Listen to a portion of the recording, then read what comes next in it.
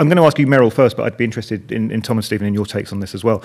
Whether you think we've reached a stage in the film industry where it's it's telling stories about women is, is a wonderful thing, but also they have to be stories being told by women. Meryl.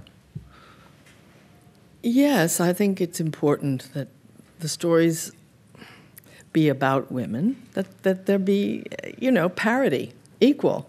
There, half the world is female, half the world is male. We have different tastes, we have different interests. Sometimes they dovetail, sometimes they don't. It just seems like the predominance of the offerings from Hollywood have been usually, and, and around the world, have been stories driven by driven by men, that's great. Many of the films have been fantastic, but um, yes, they should be made by women.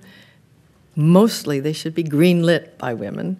Um, I think if women were equally equally represented in the agencies, at the heads of studios, on the corporate boards that own the studios, the world would be a different place. There's Many, many more women directors, not enough of them, but many, many more making sig telling sig significant stories and making a real place for themselves. Um, Handmaid's Tale is, is one such example. Um, uh, so is the film Mudbound, Lady Bird, um, uh, Wonder Woman. You know, uh, there is a uh, there is a new kind of story that is being told that may not be. Uh, there was a time also where a lot more women ran the, the green light system at different studios. Stacey Snider at Universal and now at Fox. Um, uh, you had Stacey bankrolled our film. She bankrolled our film. Uh, uh, Sherry Lansing, many years, was the final word at Paramount Pictures. I mean, I mean, this is this is this is not revisionist history. This is just the ebb and flow, the sine wave of women's involvement at the highest levels, and then when there was a dearth of women at the highest levels.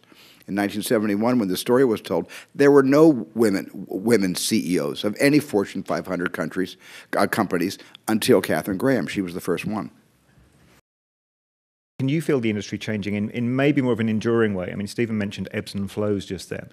But maybe next time, can, do you think, as women enter the industry, this time that they will be here to stay? Well, I think you have to divide the industry into two different distinct um, conferences or you know categories television kicks movies ass when it comes down to diversity in the workplace both both uh, by way of skin color racial background as well as the number of women that work in it uh, in television and which is probably better than it has ever been because of the advent of uh, you know the 10 part series the ongoing almost novels that play themselves out. W women are women are much better represented in that in that medium than they are in motion pictures. The economics of movies, I think, are, are have been determined by the men who make the decisions, who think that well, we need to have you know essentially boys and guys and dads decides uh, who's going to go off and pay the twenty dollars per, per ticket.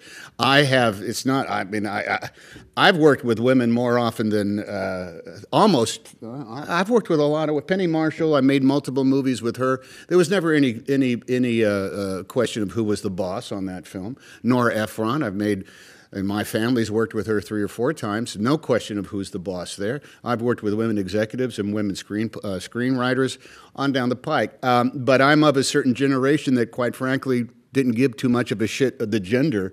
Uh, pardon my language uh, of who was. Uh, of who was in charge. The person in charge is the person in charge. What is going to come about, I think, because of this great Rubicon that has been crossed, is in those boardrooms and in that decision making process and in the people who sign checks, not just, but it's not just the financial, it's also the storytelling artistic aspect of it. You are going to see a, a, a, a different proportion between then and now. I think more, more women are going to be awarded their positions based on the merits, the quality of their work. Um, and for a while, why not just make it literally um, a per, uh, what's the word I'm looking for? Make it specific. Let's make it, there's no reason not for a while to say, we need more women on this board, we need more women running these departments, we need more women in our, in our company and in the decision making process so it actually represents the numbers as they truly are um, in our society.